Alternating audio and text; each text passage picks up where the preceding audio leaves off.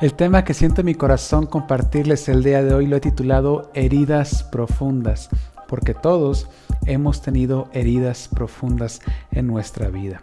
Un paradigma que hemos estado manejando en nuestra iglesia es que nuestro nivel espiritual está al mismo nivel que nuestra madurez emocional. No se puede ser más maduro espiritualmente de lo que se es maduro emocionalmente. Hay muchos cristianos que han tenido un buen compromiso con Dios, pero que finalmente fracasan porque no han trabajado sus emociones, no le han rendido también sus emociones a Dios. Y es que malinterpretamos lo que significa nacer de nuevo. Eh, hay personas que creen que por el solo hecho de bautizarse, su vida va a cambiar eh, de manera que si antes tenían un pecado oculto, lo van a dejar de practicar de manera em, automática por haberse bautizado, pero el nuevo nacimiento no funciona de esta manera. La Biblia dice que el que ha nacido de nuevo vence al mundo y que el pecado ya no tiene poder sobre nosotros. Esto no significa que el nuevo nacido ya no peca. De hecho, la Biblia dice que si uno de los hijos de Dios ha pecado, vaya con Jesucristo, que Él es, él, es fiel, Él es justo para perdonarnos de toda maldad. La Biblia dice que el pecado ya no tiene poder sobre nosotros. Y eso es porque ha cambiado nuestra condición, no en el sentido de que de manera automática ya mm, tenemos el poder de no pecar. Recuerda que el dominio propio es un fruto del Espíritu Santo. La obra del Espíritu Santo comienza a trabajar. Se le conoce como santificación. Una cosa en ese sentido sería la regeneración, que es ese momento instantáneo del nuevo nacimiento, pero otra es el proceso de conversión o la santificación, que es ese proceso gradual que el cristiano vamos a seguir teniendo hasta que este cuerpo corruptible se vista de incorruptibilidad. Entonces la nueva naturaleza lo que hace es que tenemos una nueva posición ante Dios. Cuando hemos nacido de nuevo, entonces nuestro Dios Dios ya no es nuestro juez, sino que es nuestro Padre. Y entonces cuando nosotros le fallamos, podemos ir al trono de la gracia y Él nos perdona porque es nuestro Padre. Cuando hemos nacido de nuevo y vamos ante Jesús, no nos encontramos ante el juez, nos encontramos con nuestro abogado defensor. Cuando le has fallado a Dios y vas a la presencia de Jesucristo a buscarle, pues se llega con vergüenza, se llega con dolor, pero Jesús nos dice, hey, yo estoy de tu lado y soy tu defensor. Hay personas que no quieren buscar a Dios porque tienen vergüenza después de fallarle, pero dice la Biblia que si tú has aceptado a Cristo en tu corazón, entonces Jesús es tu defensor, no es tu juez, es por tu gracia. Entonces dejamos que la gracia de Jesucristo comience a transformar nuestros corazones y comenzamos a vivir en santidad no por méritos propios, sino porque el Espíritu Santo nos hace vivir en santidad. Porque claro que hay que vivir en santidad, pero no con méritos propios, sino por los méritos de Jesucristo, el dominio propio, los frutos del Espíritu Santo obrando en nosotros.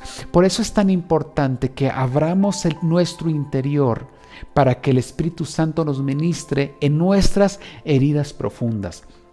Hemos puesto el ejemplo que nosotros somos como un iceberg. Se dice que del iceberg solamente se puede ver el 20% que está por encima de la superficie, pero el 80% que está debajo de la superficie no se puede ver. Nosotros somos como un iceberg y hay muchas personas que han tenido un encuentro con Jesús solamente al nivel de la superficie, pero no han permitido que el Espíritu Santo profundice en su vida. Recuerda que nuestro Dios es un Dios caballero y Él no va a eh, entrar a los lugares que tú no le permites que Él entre. Es necesario ir abriendo las compuertas de nuestro corazón. Hoy quiero invitarte que nos subamos al submarino del Espíritu Santo. Nos subamos a ese submarino espiritual para, ir a las, para ir a las profundidades de nuestro corazón. Son profundidades dolorosas, pero son profundidades que el Señor quiere ministrar en nuestra vida, porque Él quiere transformarnos completamente. Es precisamente el reclamo que Jesús le hace a la iglesia de la Odisea. El problema de la Odisea, entre otros, era un problema de autoconocimiento. Ellos se veían a sí mismos como que estaban bien cuando Jesús le dice, realmente ustedes no se dan cuenta que están desnudos, que, son pobres, eh, no se dan cuenta que, que su situación espiritual era de una pobreza y que estaban en, una, en un enfriamiento, enfriamiento espiritual. Como dijimos hace un momento, la frialdad espiritual nos llega a todos. Todos en algún momento de nuestras vidas experimentamos algo así. Y el problema es que va avanzando poco a poco. Es importante que podamos abrir las capas de nuestro corazón porque hay capas de nuestro corazón que son duras y eso no permiten que, que, el, que el Espíritu Santo caliente nuestro corazón. Esas capas duras tienen que ser quebradas o nosotros abrir esas compuertas para que el Espíritu Santo nos ministre de manera mm, profunda. Em, detrás de nuestro actuar siempre hay motivaciones, muchas de ellas son conscientes u otras son inconscientes. Los daños emocionales nos llevan a actuar de ciertas maneras. Por ejemplo, en la semana vimos que muchas personas, a pesar de que estamos en contingencia, tanto en Estados Unidos como aquí en México, salieron a las calles a manifestarse en un acto de violencia. Muchos de ellos no se dan cuenta cuál es la motivación de su corazón. ¿Qué es lo les está motivando a salir y ejercer violencia. Por ejemplo, en nuestro estado, a pesar de que el gobernador está llevando a cabo acciones, y lo dijo varias veces, las personas aún así salieron de una manera muy violenta a comenzar a atacar policías. Ese, ¿Tú crees que solamente es porque ellos eh, están motivados por una injusticia terrible que se dio en nuestro estado? No, hay motivaciones del corazón, hay una ira, una ira hay una desesperación desesperación, hay una ansiedad que está dentro de ellos. Todo es resultado de conflictos. Cuando una persona trae heridas, esas heridas este, busca expresarlas de otras formas y como no tienen autoconocimiento, entonces van a dañar a las personas que están a su alrededor. Y aquí el problema es que las emociones negativas se acumulan. Por ejemplo, este confinamiento ha traído a las personas cierta ansiedad y desesperación y ven una oportunidad para salir a manifestarse. Eso se acumula con otras emociones negativas como, eh, como, el, como el, miedo, la, ira, este, la culpa. Este, hay personas que quieren redimir su culpa de esta manera y entonces sin darse cuenta, sin hacer un análisis profundo, entonces comienzan a ejercer violencia. Están peleando o exigiendo cuando ellos lo están haciendo con actitud, actitud de violencia y no les toca a ellos ser pacificadores de esta, de esta manera, pero no se dan cuenta. Hay heridas en su corazón. Cuando tenemos heridas profundas, en, nuestro, eh, en nuestro ser y no nos damos cuenta de ellas, esas pueden comenzar a producir ciertas acciones, pueden traer ansiedad a nuestro corazón y puede inclusive llevarnos a tener pecado o a cometer pecado. Una persona que se encuentra ansiosa no solamente va a tender a comer mucho, no va no solamente va a tender hacia el aislamiento social, este, sino que puede comenzar a en su corazón tener tentaciones, pecados ocultos. Este, hay eh, jóvenes que se meten con su, con su novio, con su novia, en un momento, en un sentido de soledad, en un sentido de rechazo. Cuando nosotros logramos identificar nuestras heridas profundas o cuando dejamos que el Espíritu Santo entre a nuestro ser para identificar esas heridas profundas, entonces podemos prevenir el pecado en nuestra vida. Podemos prevenir que nos, nos acumulemos de emociones negativas. Y como ya dijimos, las emociones negativas son muy contagiosas. No solamente tenemos que cuidarnos de contagiarnos del virus que estamos enfrentando actualmente, sino también de las emociones negativas que otra persona puede fácilmente contagiarnos. Por ejemplo, la amargura es el pecado más contagioso y así también otras emociones que son este, negativas y que van a venir a con otras emociones. Y llega un momento en que nos desbordamos emocionalmente y entonces será más fácil pecar, será más difícil contenerse. Cuando tenemos heridas profundas, eso nos puede llevar a cometer errores y aunque esos errores nos pesen, comenzar a repetirlos. Hay un versículo que el apóstol Pedro dijo y que yo creo que la mayoría de los predicadores preferimos no usar porque es un texto bastante fuerte. Me refiero a la segunda carta de Pedro, capítulo 2, 22. Lo voy a leer en la nueva traducción viviente. Y ahorita voy a explicar en qué contexto le quiero aplicar. Demuestran, bueno, Pedro está hablando de aquellos que se alejaron del camino, que recibieron a Cristo y después se alejaron y se perdieron el pecado y ya no les interesa regresar. Es el caso de los que, de los que Pedro está eh, hablando aquí. Demuestran que tan cierto es el proverbio que dice un, un perro vuelve a su y otro que dice un cerdo recién lavado vuelve a revolcarse en el lodo. Y ese texto está aplicado a las personas que se han alejado, pero hoy quisiera que le diéramos una aplicación diferente. Yo sé que es un texto bastante duro y insisto que yo creo que los predicadores no es un texto que nos guste eh, usar, a no ser aquellos que les encanta regañar. Em, porque dice, usa dos palabras muy fuertes, dice el perro que vuelve a vómito o del cerdo recién lavado que vuelve a revolcarse en el lodo.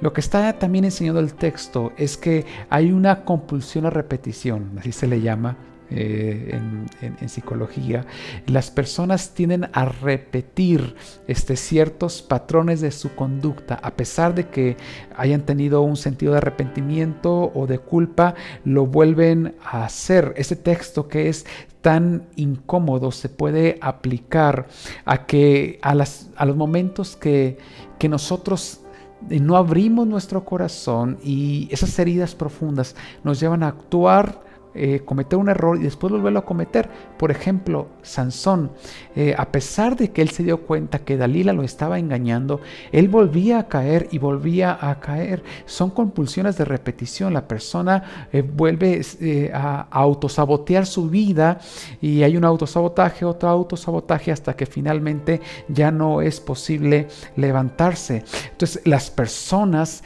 suelen repetir sus errores una y otra vez, caen en lo mismo este, se levantan y vuelven a caer, se levantan y vuelven a, caer. Tal vez alguien se pregunta, ¿por qué a pesar de que, que yo me he sentido tan arrepentido de hacer esto, lo he vuelto a repetir?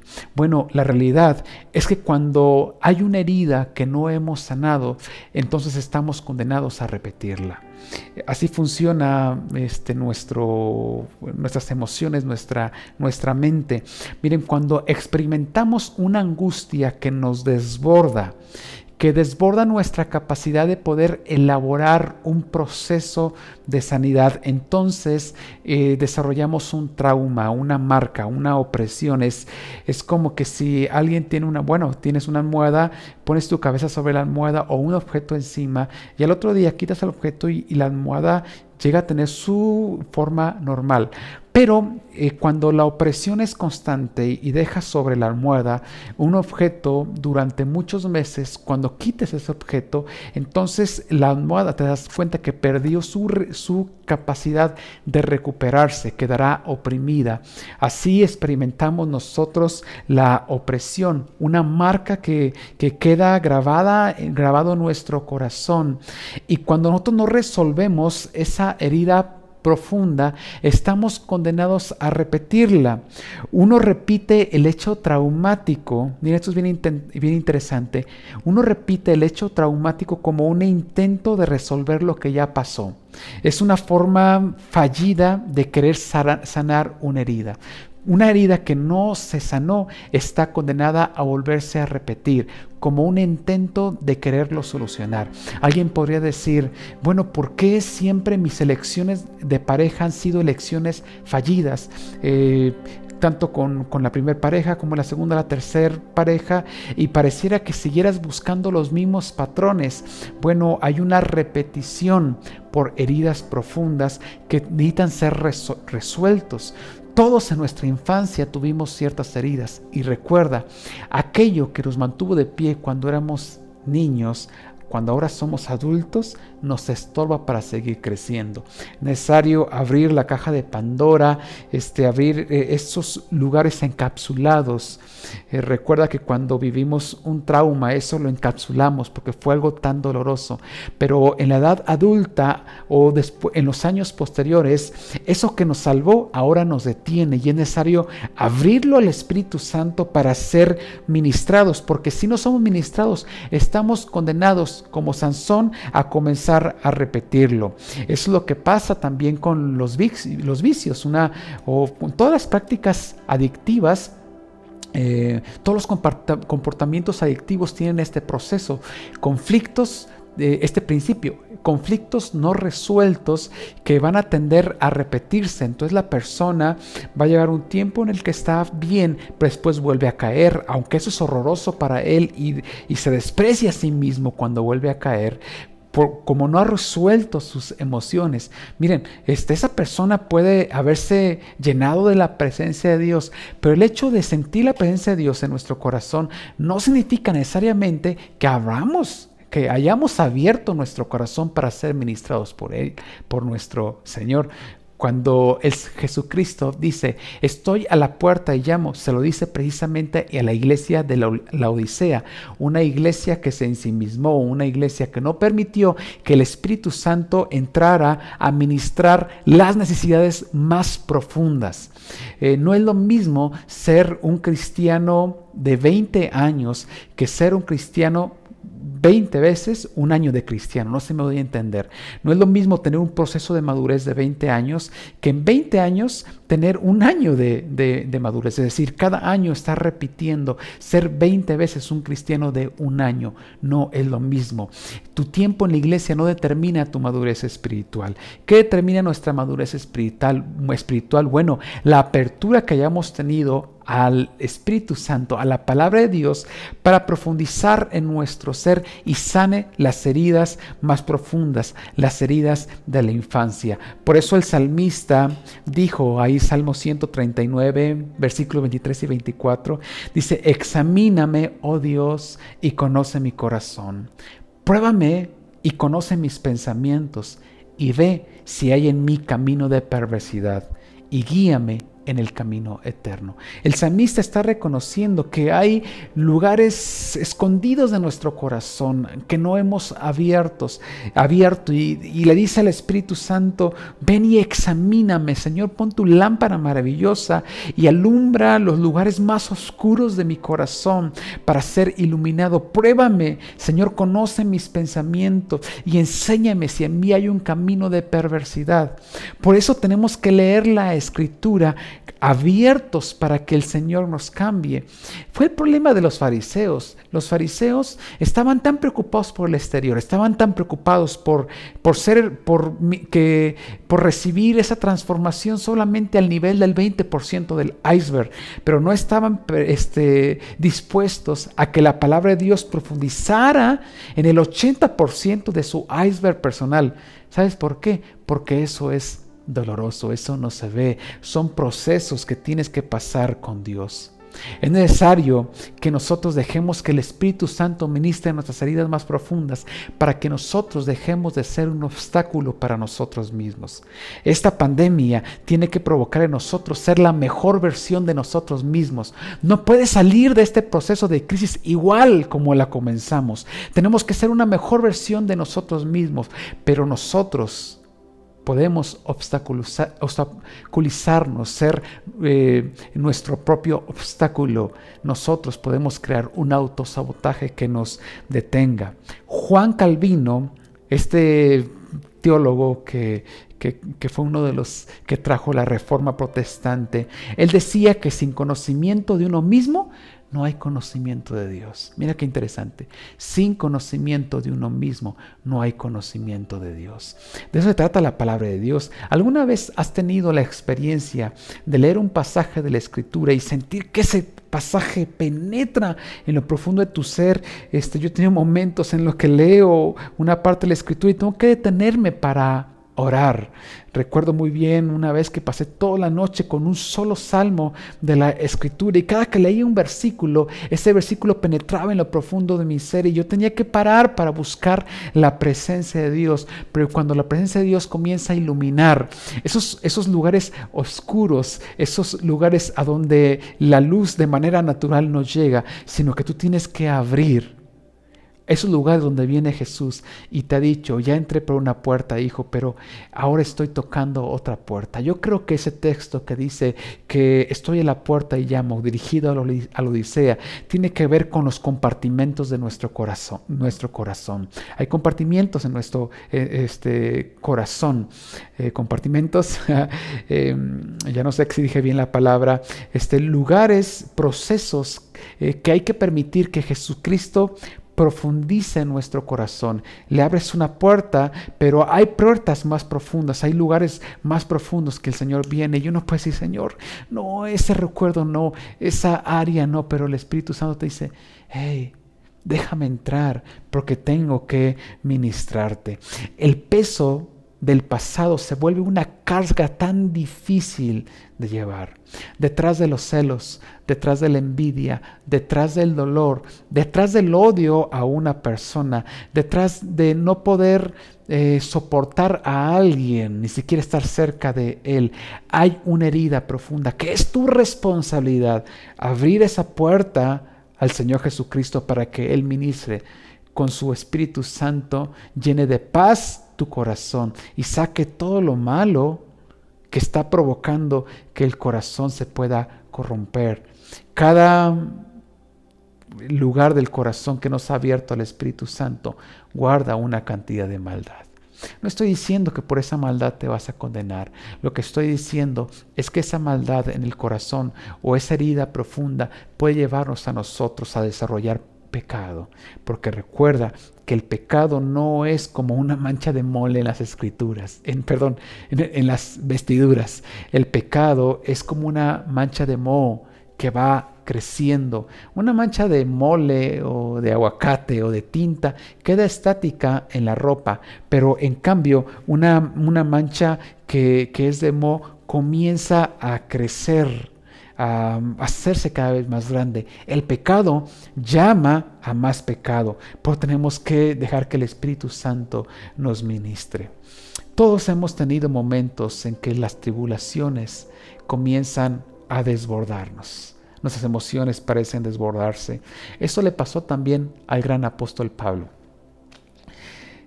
La sanidad emocional nos capacita para tener elementos emocionales firmes para poder enfrentar las circunstancias adversas de la vida, esos momentos difíciles que buscan quebrarnos. Bueno, si, si nosotros ya estamos quebrados por dentro, una crisis mayor nos va a terminar de quebrar. Pablo se sincera en su segunda carta a los Corintios, versículo 1, eh, versículo 8, eh, capítulo 1, versículo 8, dice, amados hermanos, pensamos que tienen que estar al tanto de las dificultades que hemos atravesado en la provincia de Asia eh, Pablo no nos da detalles de cuál fue la dificultad que tuvo, porque seguramente ellos la conocían. No nos quiso dar detalles a nosotros, pero sí sabemos que fue muy intenso. Dice Pablo, fuimos oprimidos y agobiados más allá de nuestra capacidad. ¿Alguien se puede sentir identificado con esto? Ser oprimido y agobiado más allá de nuestra capacidad. Yo creo que todos nos hemos encontrado en una situación donde nos sentimos oprimidos y agobiados más allá de nuestra capacidad, dice el apóstol, de nuestra capacidad de aguantar y hasta pensamos que no saldríamos con, con vida. ¿Alguna vez te has sentido así? Ese es un contraste al capítulo 4, versículo 8 y versículo 9 del mismo apóstol. Dice, por todos lados nos presionan las dificultades, pero no nos aplastan. Estamos perplejos, pero no caemos en la desesperación. Somos perseguidos, pero nunca abandonados por Dios. Somos derribados, pero no destruidos. Bueno, esto es un aprendizaje de esta crisis. Eh, acabo de leer el capítulo 4 después de leer el capítulo 1. Bueno, pero continuamos con el capítulo 1. En el versículo 9, 9, él habla de la confianza que desarrolló con Dios después de una crisis tan terrible. Recuerda que él dijo que se sintió desbordado emocionalmente. Eh, de hecho, esperábamos morir. O sea, ellos sentían que lo que estaba a continuación era la muerte. Quedaron sin esperanza. Pero como resultado, dejamos de confiar en nosotros mismos y aprendimos a confiar solo en Dios, quien resucita a los muertos. Aunque Pablo estuvo al borde de la muerte, no murió. Lo que Dios estaba buscando era que Pablo abandonara su autoconfianza y en su lugar pusiera a Dios. Necesitamos dejar de confiar en nosotros mismos, pero confiar en Dios. Hay personas que en las crisis han dejado de confiar en sí mismos y se han desmoronado. No se trata, lo que la Biblia no está diciendo es que dejes de confiar en ti mismo y ya. No, no, lo que la Biblia está diciendo es, este, deja de confiar en ti, pero comienza a confiar en Dios. No es válido o no es de ningún provecho, sino todo lo contrario, dejar de confiar en ti y perder la confianza y la esperanza. La Biblia está diciendo, no, cede este, el trono a Dios. Pablo desarrolla eso y entonces dejó de confiar en sí mismo para confiar en Dios porque él experimentó lo que es depender exclusivamente de Dios. Pablo tal parece que experimentó la muerte emocional, pero fue precisamente en esos momentos donde su entrega a Dios fue total y él se levantó tan fuerte, se levantó tan poderoso y experimentó la respuesta de Dios en su vida. Cuando te sientas oprimido, cuando sientas una acumulación de tus emociones, entonces déjale el trono a Dios. Ve a la presencia de Dios. Hemos dicho que no es fácil orar cuando estamos en crisis. Cuando nos sentimos desesperados, no es fácil orar, pero es ahí cuando tenemos que ir a la presencia de Dios, abrir el corazón y decirle, Señor, me siento abandonado como un niño pequeño. Este, mis miedos más profundos ahora parecen que están sobresaliendo, están, este, siento que he perdido el control. Y yo creo que una situación en la que estamos nos invita a sentir que perdemos el, color, el control, pero eh, la Biblia nos está diciendo, entonces, ese momento de poner a Dios ahí. Cuando hemos dejado de confiar en nosotros mismos, cuando vemos que ni nuestras mejores estrategias nos pueden sacar de la situación en la que estamos, es el mejor momento para poner a Dios y experimentar depender exclusivamente de Él. Y Él te va a dar una nueva visión. Eh, cuando nos sentimos desbordados emocionalmente, es momento de ir a su presencia y ser como unos niños en su presencia, subirnos al submarino espiritual y decirle a Jesús, ahí están las llaves de mi corazón, abre la puerta que tú quieras y ministrame. Y entonces experimentamos el depender de Dios y nos damos cuenta cómo es que Dios contesta nuestras oraciones. Pablo continúa y dice en el versículo 10 y 11, el cual nos libró y nos libra el Señor nos libró y nos libra, y en quien esperamos que aún nos librará de, de tan grande muerte. Mira la seguridad que desarrolló de Pablo. Dice, Él nos libró, nos libra, y aún esperamos y confiamos que nos librará. Cuando uno sabe que Dios nos libró, me libra y que me librará, entonces podemos experimentar este, la esperanza y la fe. Y dice, Él nos librará de tan grande muerte. Y después da otra clave. No somos llaneros solitarios. Dice, cooperando también vosotros a favor nuestro con la oración. Es decir, gracias les doy, dice Pablo, porque ustedes me cooperaron orando por mí, para que por muchas personas sean dadas gracias a favor nuestro por el don concedido a nosotros por medio de muchos. Es decir, la oración de todos en todo estuvo resultado. Eh, en los momentos donde las emociones nos desbordan, recuerda que eres parte de una familia. No estás solo, no te la avientes solo. Hay, hay, personas que son sabios en su propia opinión y que tienen sus crisis y, y se las avientan solo. Em, no vas a solucionar las crisis en las redes sociales No, van a, no vas a solucionar tus crisis distrayéndote de alguna otra forma. Las personas ahogan sus penas en alcohol, pero no resuelven nada. Las personas comienzan a repetir su fracaso una y otra vez, este, como un intento fallido de resolver un conflicto interno que no han estado dispuestos a llevárselos, llevárselo a Dios.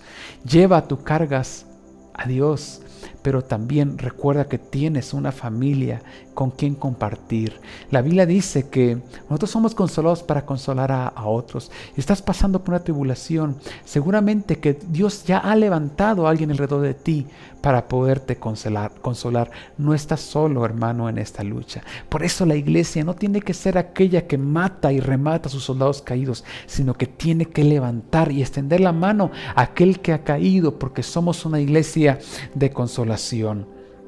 La liberación que Dios concedió a Pablo fue una especie de resurrección, porque él mismo mencionó el poder de la resurrección. Dice, eh, y aprendimos a confiar solo en Dios quien resucita a los muertos. Hemos estado hablando de cómo opera el poder de la resurrección, pero también Pablo alude a los lazos de comunión que se establecen cuando oramos los unos por los otros. Hoy quiero recordarte que Dios puede sanar tus heridas profundas. Que tus heridas profundas pueden hacer que, se acumulen crisis y llegar un momento en que te sientas desbordado. Si, si así te sientes el día de hoy, quiero decirte, puedes ir a Jesús y Jesús te va a ministrar profundamente. Su Espíritu Santo va a entrar a los lugares más profundos de tu corazón. Vamos, anímate a profundizar en el 80% de tu iceberg personal. Súbete al submarino espiritual y deja que, que el Espíritu, Espíritu Santo te ministre. Todos tenemos historias tristes. Todos tenemos una historia triste que contar, pero eso tenemos que abrirlo al Señor. Tal vez la angustia que sientas el día de hoy es el resultado de una acumulación de heridas del pasado que el día de hoy quiere sanar. Tal vez estás batallando mucho con los celos y es un resultado de heridas profundas. Tal vez el día de hoy estás batallando mucho con la ansiedad, con la desesperación y solamente es el desbordar esto que está pasando, solamente está este, descubriendo una realidad de conflictos no resueltos esta pandemia ha hecho que muchos matrimonios comiencen a tener conflictos y revelen la realidad de, una relación que está en conflicto porque hay heridas profundas que no han sanado. Jesús quiere sanar tus heridas. Jesús no está esperando ver tu perfección, tu eh, perfección. Jesús no está esperando verte como un hombre sin manchas, sin arruga. No, no, eso es a través solamente de Jesús. Jesús quiere ministrarte. Recuerda que Jesús no es tu juez, Jesús es tu abogado. Y cuando has nacido de nuevo, cuando eh, eh, has recibido la impartición de una nueva naturaleza, entonces Dios no se está comportando como tu juez, se está comportando como tu Padre y quiere abrazarte el día de hoy y sanar tus heridas profundas. Vamos, abre esta semana a Jesús tu corazón y deja que Él te ministre. Recuerda también que no estás solo, que Dios eh, nos ha proveído de una familia, esta familia de fe, donde nos podemos acompañar los unos a los otros. Por eso tenemos que ser confiables y tenemos que escuchar a aquel que viene para eh, a buscarnos porque está buscando ayuda. Hoy quiero decirte, hermano, hermana, no estás solo no te avientes solo tu crisis. Sé parte de la comunidad de fe y deja que el Espíritu Santo profundice en las heridas profundas. En el nombre de Jesús, Señor, te pido que tu Espíritu Santo sea como un ungüento. Hoy, Señor, nos subimos al submarino espiritual y, y queremos despedirte, Señor, que nos lleves a las profundidades de nuestro corazón Ya no tendremos las puertas cerradas, Señor, sino que queremos descubrir esos lugares tan, tan solos, esos lugares tan profundos, descubrirlos para que tu luz pueda alumbrarlos. Es posible, Señor, que muchos de los problemas con los que hemos estado batallando y que repetimos una y otra vez sean resultado de heridas profundas, Señor, que tu Espíritu Santo el día de hoy nos alumbre.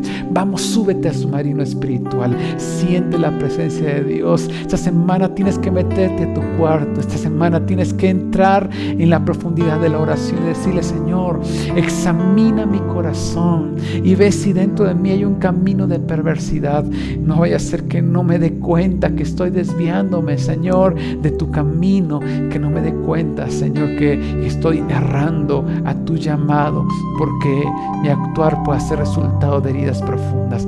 Deja, vamos, que el Espíritu Santo te ministre. Abre tu corazón. Es posible que tu conflicto matrimonial sea resultado de heridas profundos de la infancia. Hoy deja que el Espíritu Santo te ministre. Vamos, dale otra oportunidad a tu familia, dale otra oportunidad a tu matrimonio, dale otra oportunidad a esa relación.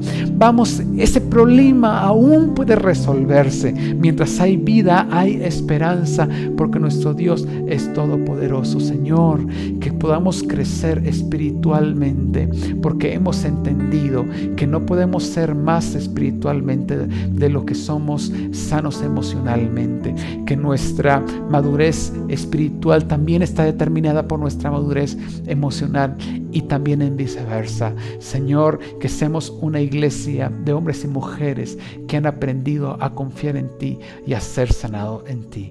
En el nombre de Cristo Jesús. Amén.